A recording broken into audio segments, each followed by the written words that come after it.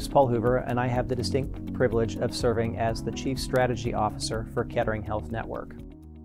So one day, while getting lunch, a physician passed me and he took a double take and he said, Paul, are you doing okay?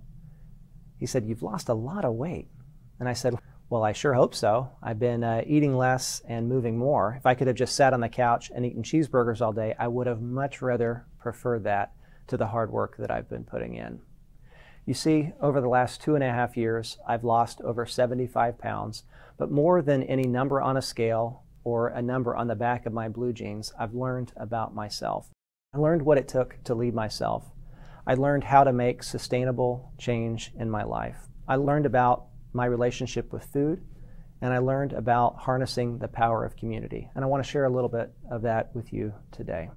You see, I knew for a long time that I needed to make change in my life. I was overweight and I was living a pretty sedentary lifestyle. I ate the typical standard American diet, sad. So I ate dead animals and lots of highly processed foods, and I consumed much more than I should. So I was talking with a friend of mine one day, and we were lamenting a challenge that we had at work. And she said, You know, Paul, leading people is easy, but leading yourself is difficult. So fast forward a couple of days later, I was sitting in a physician office waiting for my checkup. I got on the scale and I looked down at the number and I was completely mortified. It was the highest number I had ever seen. I was frustrated, dejected, and I knew what was coming next. The doctor came into the exam room and he went through my lab results and he said, Paul, your lab results are not as good as they should be. And in short, he told me I needed to eat less and I needed to move more. What struck me about that conversation was he didn't sugarcoat it. He didn't blame me and he didn't judge me. He simply just told me I needed to do better. So I went home and started thinking about how I could go about achieving sustainable change. I remembered a couple years before I saw this story that was in a publication called The Physician Quarterly about Dr. Harvey Hahn. He had lost about 50 pounds, and that started to pique an interest in my life. For a long period of time, I've owned just about every piece of exercise equipment, and all of those ended up hanging clothes or blankets or just ending up on Craigslist to be sold for pennies on the dollar. So I knew I needed to bring about sustainable change. So I started dreaming, and I started dreaming big. Not about some number on a scale or some blue jean size, but about how I could make my life better through simple actions. So I started with the philosophy you do you. I'm going to do myself. I'm not going to live somebody else's playbook. I'm not going to follow some fad diet. I'm simply going to do what I know that I need to do. And so I started by taking a philosophy that the past was the past and not letting that hold me back. And I started dreaming about how I could bring about sustainable change. So I started looking at my life and looking at where in my life I needed to make change. So I started making space in my life. I decided to get a bicycle and start riding with my family and friends. So, great exercise. We have beautiful trails here in Ohio to take advantage of, and I absolutely loved riding the bicycle. There's nothing more fun than going out for a 15 or a 30 mile bike ride and realizing at the end of that, once you get halfway out, you got to get the other half back. And so, for me, it was a great form of exercise to start to build up my cardiovascular endurance. The second thing I did was give myself just a little bit of grace and realize that I had not gotten to the point where I was at overnight and it wasn't going to change overnight. And again, I simply focused on exercising.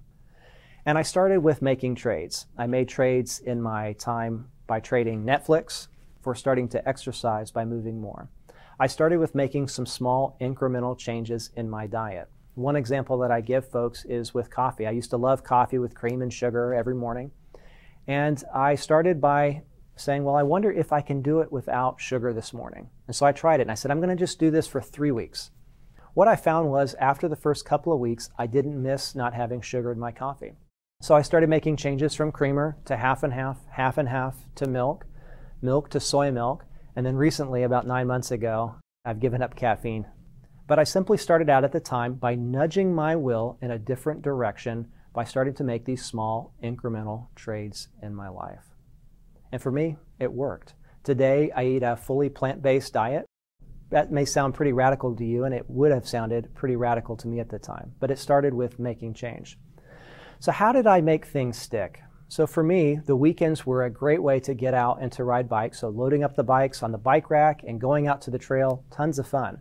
But what I realized was that I needed to incorporate more exercise into my daily habits and routines than what the bike trail was going to allow me to do with a family and with work commitments. So I simply focused on what things I could do that were fun. I was over at some friend's house one night. This is all pre COVID. So we're playing cards and one Saturday night, and they're bragging about their fancy new Peloton. I call it Pelo bragging. And I got intrigued, and I, they said, Hey, Paul, why don't you come over and try this thing out? We think you'd really like it. I like biking on the weekends. I said, All right, I'll come over and try out the Peloton, but leave me alone, lock the door, don't come down. As long as you hear me huffing and puffing, good. If you hear me stop breathing, then you can come check on me. Because I didn't want any uh, spandex clad photos floating around on the internet.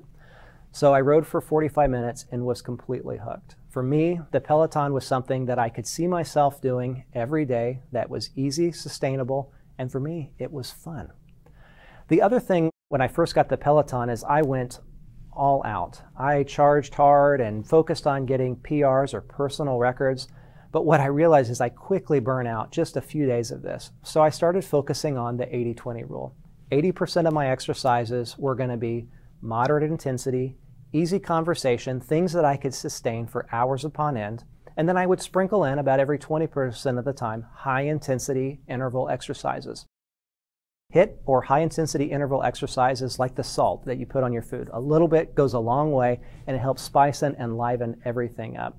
So for me, the Peloton was an easy way to incorporate exercise into my daily routine and it was something fun that I could do and it was easy for me to track progress. And so for me, those were ways that I was able to incorporate exercise into my daily life.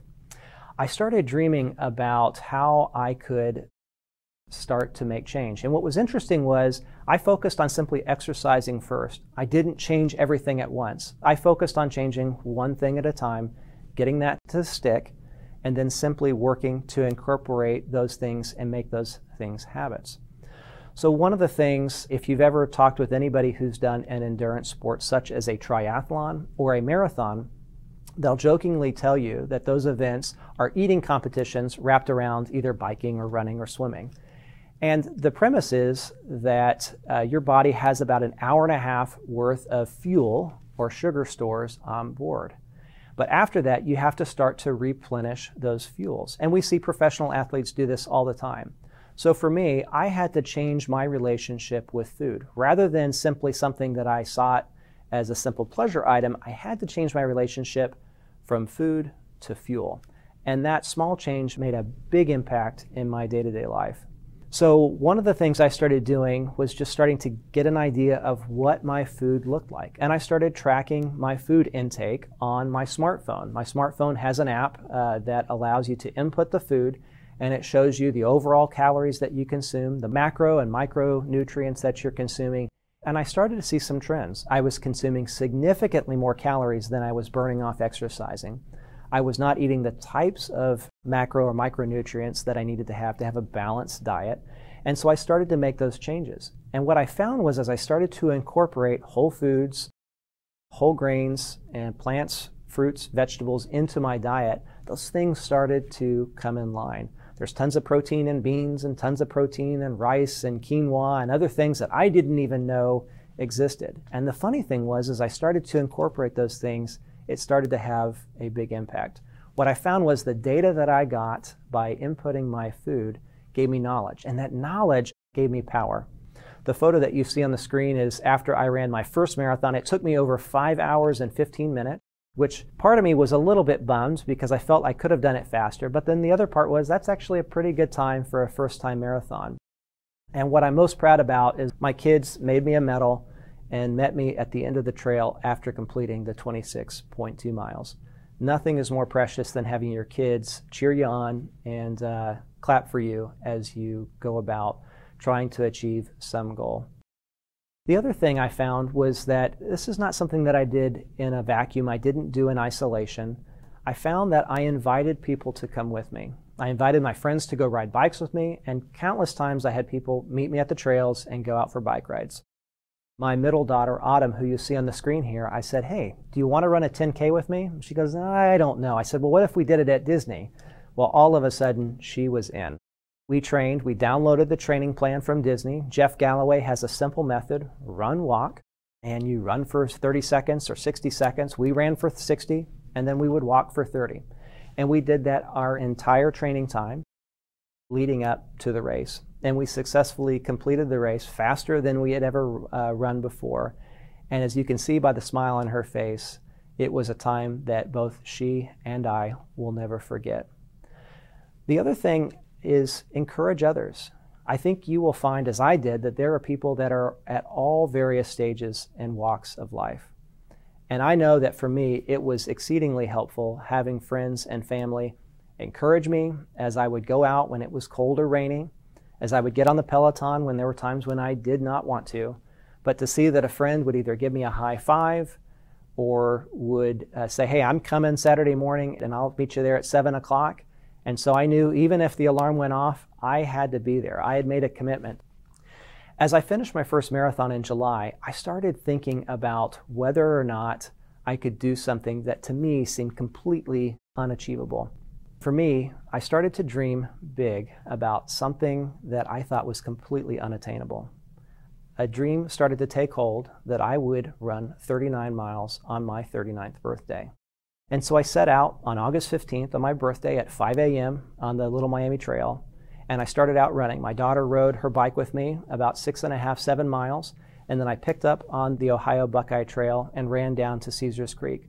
My friends and family met me along the way. They brought me water and change of t-shirts because it's August and it's hot here in Ohio, and uh, fuel.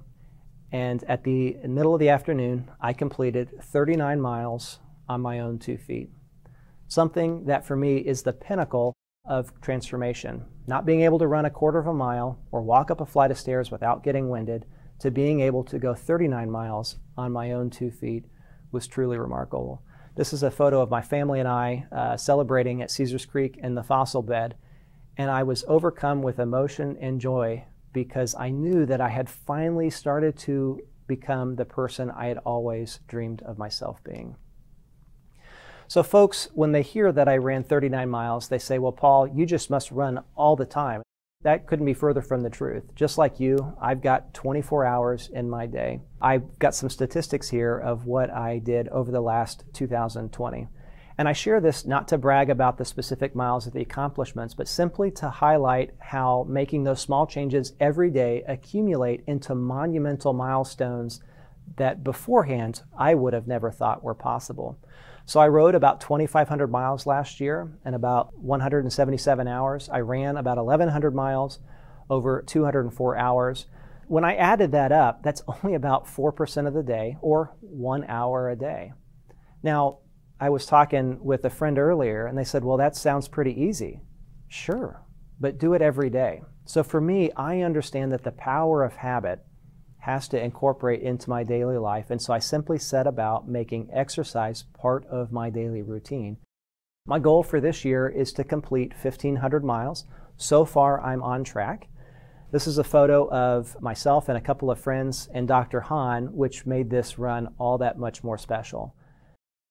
This is two photos of before and after I wanted to share with you. The one that you see with me in the suit is back in February of 2019 and the photo after I took uh, back this December. The jacket that I'm wearing, while it may not be as stylish as what all the cool kids are wearing today, that's the jacket that I wore back in high school. So if you take nothing else from today, I want to encourage you. I want to encourage you that change is sustainable. You are not a victim of circumstance. You are capable of making change. I encourage you to dream, to dream big, bigger than any number on a scale. You're bigger than any clothing size. I can tell you that. You are so capable of achieving so much more. But start out by making small incremental changes in your life and keeping the focus on dreaming big. The past is history, but what you do today shapes your actions into the future. Remember, it's your life. Make it a great one.